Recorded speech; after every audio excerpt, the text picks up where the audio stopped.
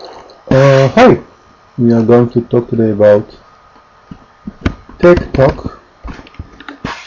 This is a new application that provides SNMP access to devices, allowing you to uh, monitor a system remotely and let you check the health and the status of the different components over time. Uh, what you see here is the first page of the application. As you can see there are different tabs to the application. The first one is setup where you provide your information of which system you want to monitor or detect.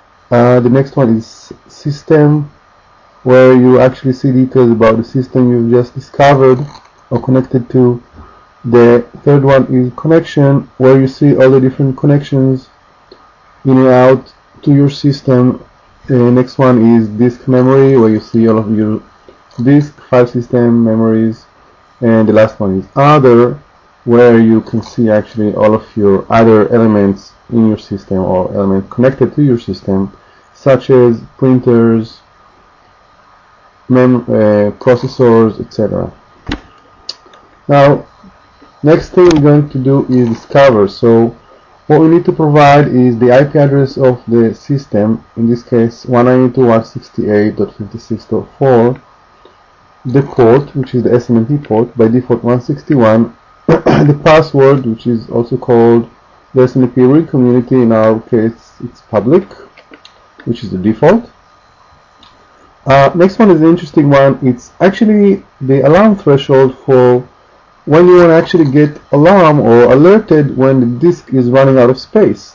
So usually people will put it 80%. I just put it 55 or whatever, 44% just for testing. Um, because my disk uh, right now is not that full.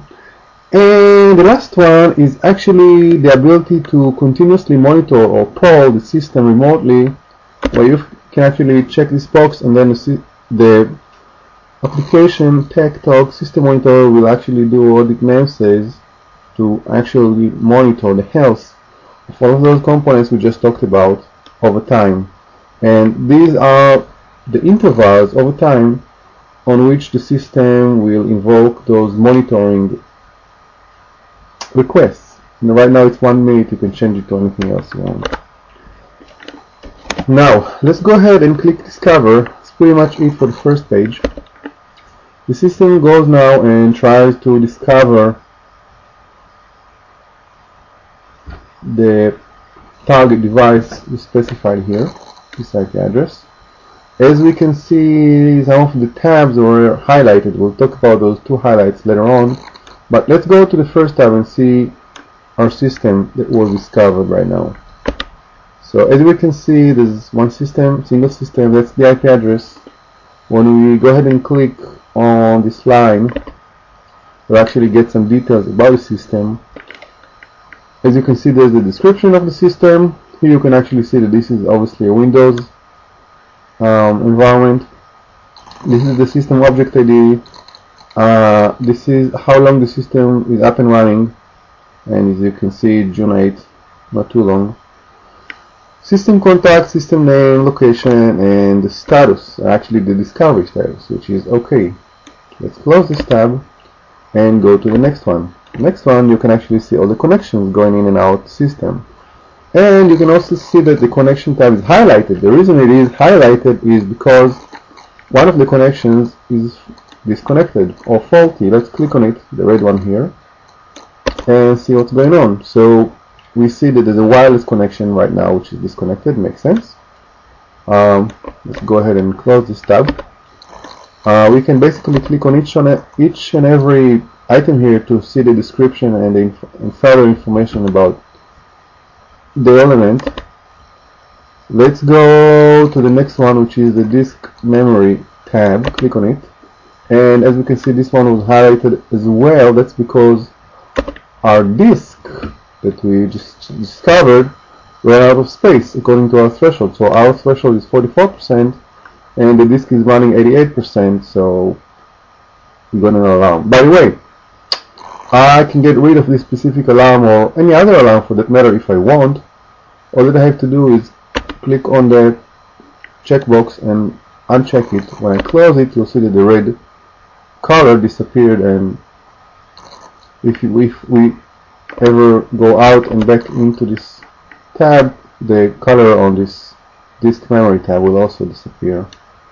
Now I can always click on the item again and decide to re-engage in alerts for this element then I'll get the red line back again. Notice that if I go to a different one which doesn't have alert it doesn't matter, matter how many times I'm checking the box or unchecking it obviously it will not have a red line. Now the last item or the last tab on the list here is other and these are pretty much all the either physical or logical components on the system which are exposed via SNMP. You can see that there's a bunch of printers here, uh, some processors, these are the actual processors of the operating system, these are two Intel processors I believe. Uh, some specific drivers installed on the system, like keyboards, for example in here, it's an IBM hardware. And we can actually go over the different elements and see this is for example a printer HP DeskJet as you can see. Uh, that's pretty much it for the initial demonstration of the application. Next thing we're going to do we're going to see is after the initial phase of discovery that we just talked about now what are what is the other capabilities or features of Techtalk System Monitor